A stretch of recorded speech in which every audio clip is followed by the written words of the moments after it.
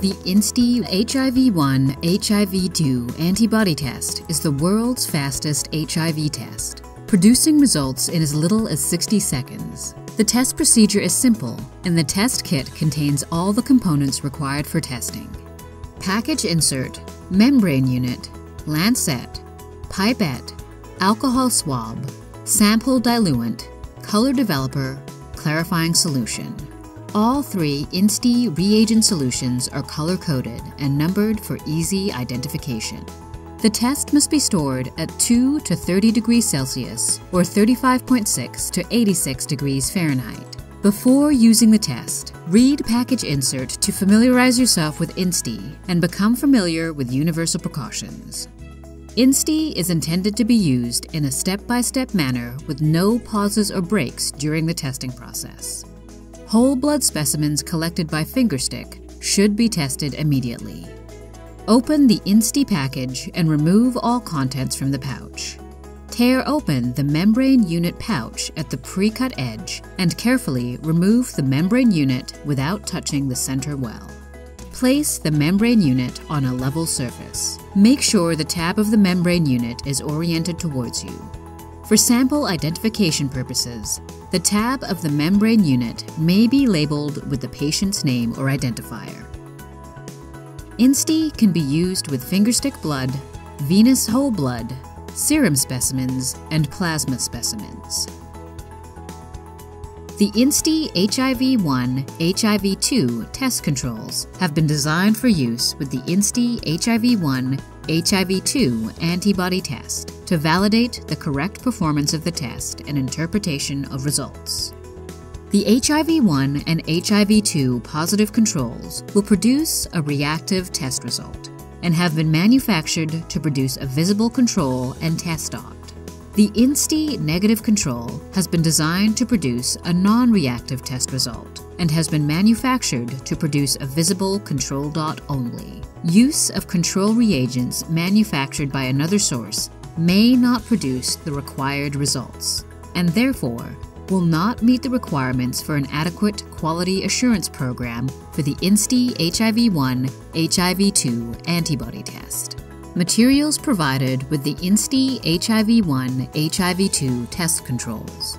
Each box contains a package insert, one HIV-1 positive control, one HIV-2 positive control, one negative control.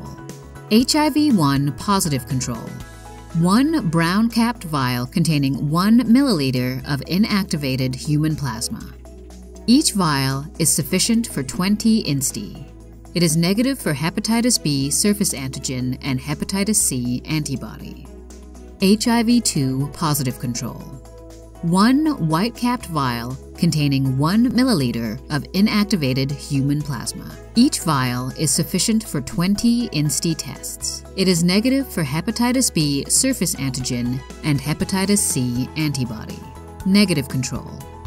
One green capped vial containing 1 milliliter of processed human serum. It is negative for HIV and hepatitis C antibodies, in addition to hepatitis B surface antigen. Each vial is sufficient for 20 INSTI tests. Disposable pipettes provided by the INSTI HIV-1 HIV-2 test controls are for use with external controls only and are not to be used for testing patient samples. Materials required and provided in the INSTI HIV-1 HIV-2 antibody test. Package insert, membrane unit, alcohol swab, sample diluent, color developer, clarifying solution. The lancet and capillary pipette are provided with the test kit, but are not required for use with the INSTI HIV test controls. Optional materials not provided. Pipetter capable of delivering 50 microliters may be used in lieu of the disposable pipettes. Test and controls storage requirements. INSTI HIV test must be stored at 2 to 30 degrees Celsius or 35.6 to 86 degrees Fahrenheit until expiration date. INSTI HIV test controls should be stored frozen at minus 20 degrees Celsius, minus 4 degrees Fahrenheit, or refrigerated at 2 to 8 degrees Celsius, 36 to 46 degrees Fahrenheit, until expiration date. Do not use beyond the indicated expiration date. Open the control vials only when you are performing tests. Recap and store the control vials in their original packaging at 2 to 8 degrees Celsius or 36 to 46 degrees Fahrenheit after use. Test controls preparation. Read the INSTI HIV-1 HIV-2 test controls package insert prior to using the INSTI HIV-1 HIV-2 test controls. Remove from storage and allow the controls to reach room temperature prior to testing.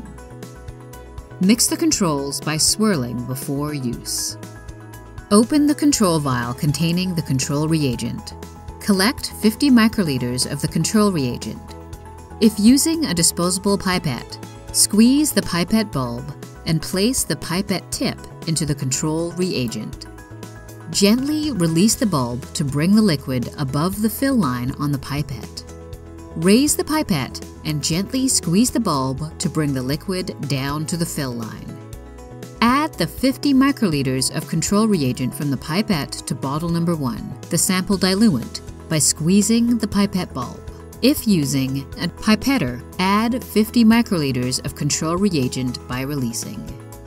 The HIV-1 positive control, HIV-2 positive control, and the negative control are to be run on separate membrane units. Use a new pipette with each new control reagent. Do not add human sample to bottle 1 when running external controls. Step number 1. Sample diluent. Once the sample has been transferred into bottle number one, the sample diluent, recap the bottle and mix well by inversion. Open the sample diluent and pour the entire contents into the center of the membrane unit well. The sample should be absorbed quickly. Wait for all the liquid from bottle number one to be absorbed completely. Step number two Color Developer. Resuspend the color developer by slowly inverting. Mix the solution thoroughly until the reagent is evenly suspended. Pour the entire contents of bottle number 2 into the center of the membrane unit well.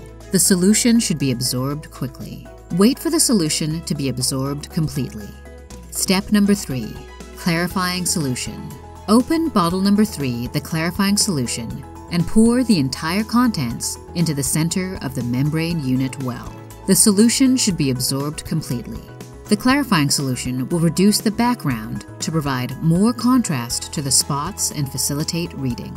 Immediately read the result while the membrane is still wet. Do not read the results if more than 5 minutes have elapsed following the addition of clarifying solution. When reading the results, make sure the tab of the membrane unit is oriented towards you. Non-reactive result. One blue control spot that is clearly discernible above any background tint should appear on the membrane. The control spot indicates the test has been performed correctly and a human specimen has been used. Reactive result. Two blue spots. One control spot and one test spot that are discernible above any background tint indicates that the specimen contains HIV-1 and or HIV-2 antibodies. Following a reactive test result, HIV confirmation testing should be conducted. Invalid result. The test is invalid if there is no control spot on the membrane.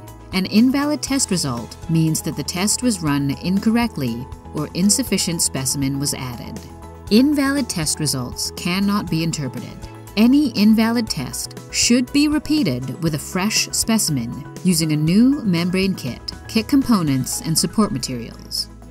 The Rapid INSTI HIV antibody test is intended for use by personnel in medical facilities, clinical laboratories, emergency care situations, physicians' offices, voluntary counseling and testing VCT programs, and other establishments providing healthcare. For more information, please visit us at www.biolytical.com.